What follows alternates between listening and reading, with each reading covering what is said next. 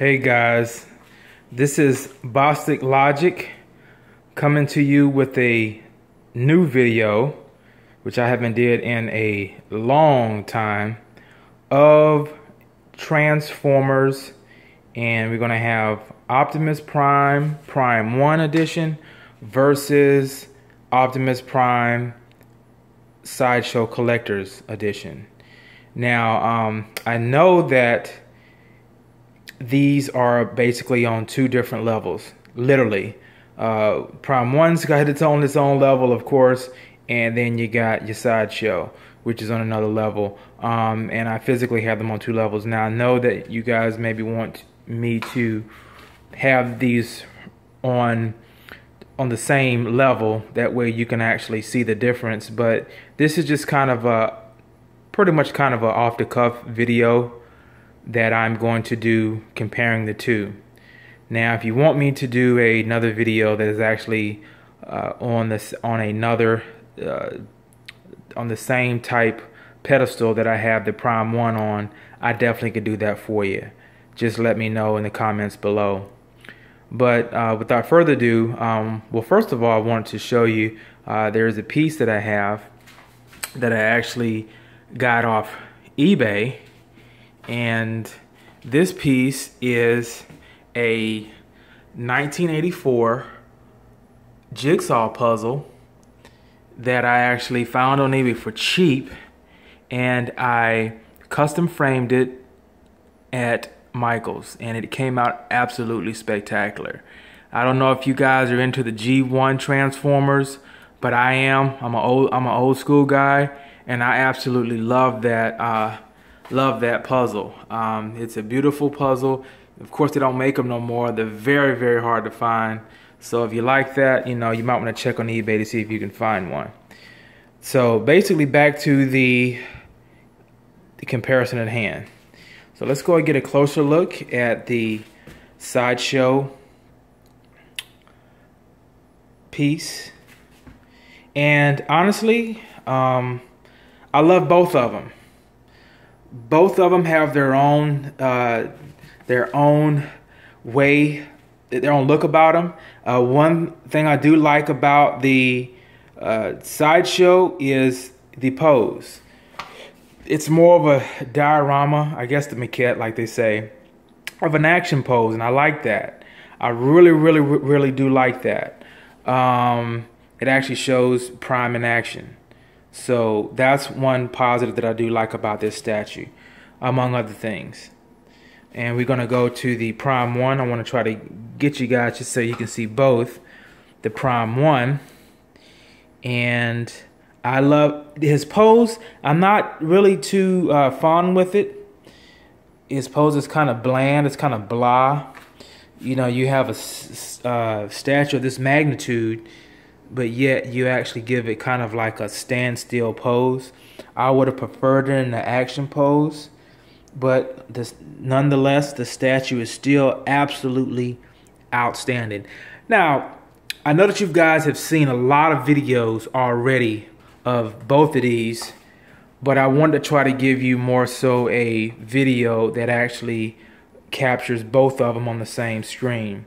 Um, I, I got a really good deal on this one. And just kind of a side note, I actually got this for like 800 bucks on eBay. Basically, what uh, the reason why I got it is cheap price is because the guy didn't have the box to it, and I guess he knew already that he was kind of basically ice skating uphill, and he knew that you know it was probably going to be hard sell. So he we, we worked something out, and I ended up getting a good deal on it. But um, uh, me not having a box, I'm not trying to sell this, and I knew that I wasn't going to be selling that, so it, it wouldn't have been a problem. Uh, so that's a kind of a plus on my end. Uh, I guess in the, if I ever move or anything like that, you know, that may be a slight problem, but I'm sure I can actually pack it up really nice. Anyway, back to the back to the situation at hand. Um, okay, you guys probably want to know what I think about both of them. In a nutshell, I'm going to give you the skinny on on my uh, the comparison. Now, as far as if I had to do scale of one to ten for both, I would give my the sideshow Optimus Prime, I would give it an 8.5. And you're probably like, man, why would you give this statue 8.5? Well, one thing is that the base. The base is the base is light, like real light, like loaf of bread light is light. And I don't like that. I'm like, if you're going to actually make a statue's magnitude, why have a hollow base? I don't like that, you know? And uh, that's something that I don't, I don't, I don't like. And it's not just this statue, but it's just other sideshow statues in general. I don't like the hollow base. You know, uh, it just shows that it is, you know, well, we're going to focus on the statue and skimp on the base. But other than that, uh, I think this statue is really, really great. Now, before the Prime 1 came out, I would have probably gave this a 9.5. Simply the fact because you have nothing to compare it to. You have nothing to compare it to. So you're like, oh wow, it's it's beautiful. But then like take a look at this, like take a look at this upper part of his torso right here. And then we're gonna go over here, take a look at Prime 1's upper part of his torso.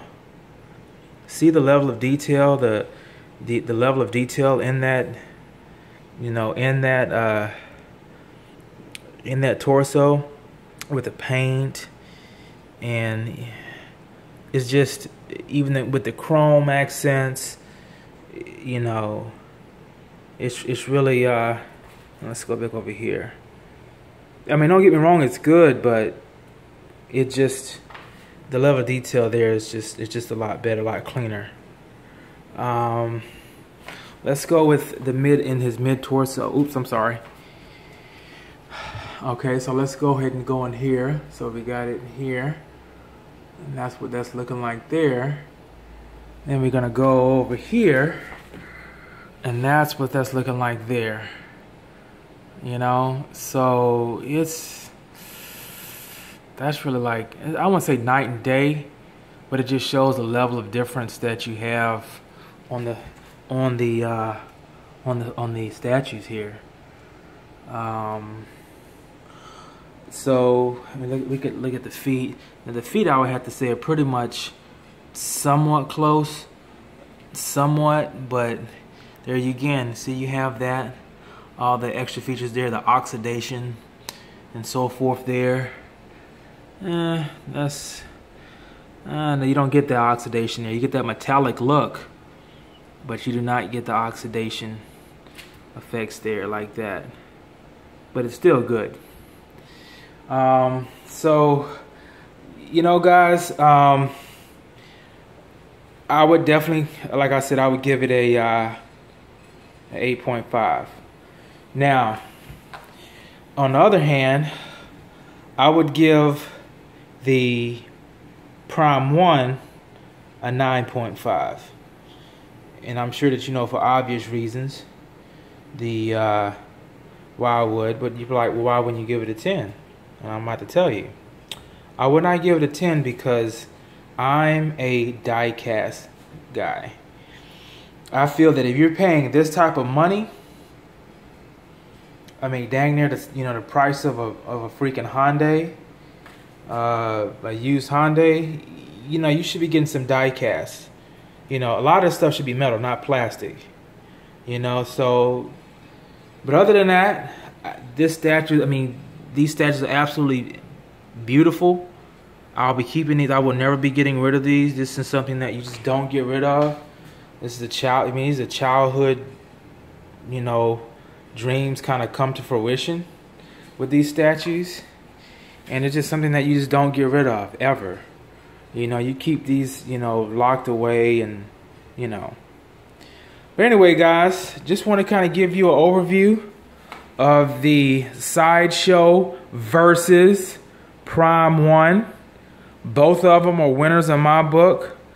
Uh, you can't have one without having the other. If you're if if you're a true uh, Transformers fan, you definitely want to get your uh, as they say in the Navy, get your beaters on uh, get your beaters on these two.